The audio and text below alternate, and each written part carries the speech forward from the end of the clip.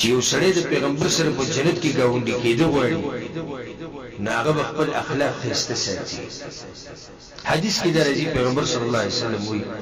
و ان من احبکم الی و اقربکم مني مجلسا یوم القیامة، په تاسو کې د قیامت په ورځ نژدې به ماته څوک وي په جنت کې؟ او زما به ډیر خوښی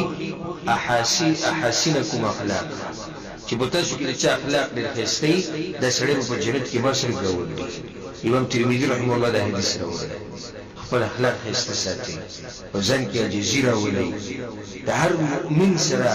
نرمی کوی د هر مسلمان سره مرسته کوی د هر غریب سره منډه وایی د کونډی او د یتیمانو تپوس کوی خپل اخلاق ښایسته ساته ځکه حدیث کې راځي، پیغمبر صلی الله علیه وسلم به نه کنځلې کولې، نه به یې بدې ردې ویلې، نه به یې په بازارونو کې چغې وهلې، نه به یې چا باندې لعنتونه ویل او نه به یې چا ته ښېرې کولې.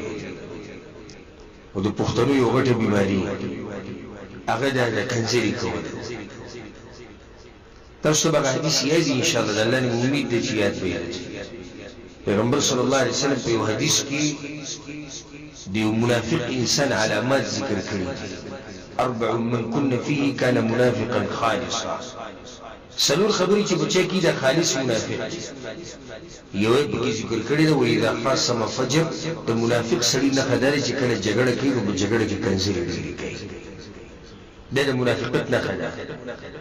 او دا د ښایستو اخلاقو خلاف خبره ده او دا د سپک سړي کار دی. زه ښه واضح وایم که څوک خپه کېږي الله دې خوشحاله کړي. دا د سپک سړي کار دی چې د چا خور مور یادوي